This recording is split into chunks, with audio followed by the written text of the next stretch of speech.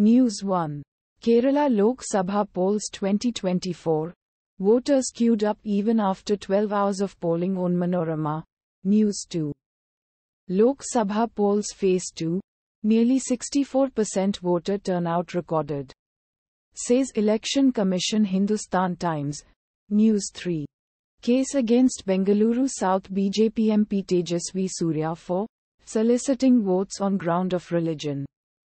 News 18, News 4. WhatsApp warns about shutting down in India if forced to break chat encryption. News 18.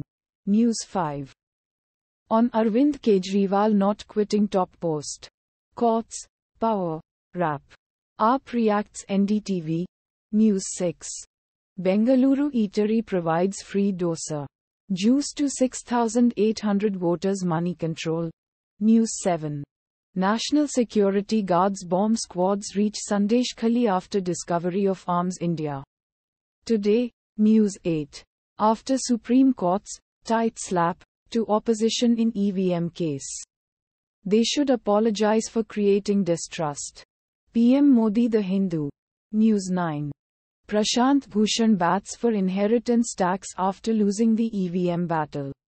Yet again OpIndia. News 10. BJP shares video evidence of former PM Manmohan Singh saying Muslims should have first right to resources. Mint Mint automatically generated.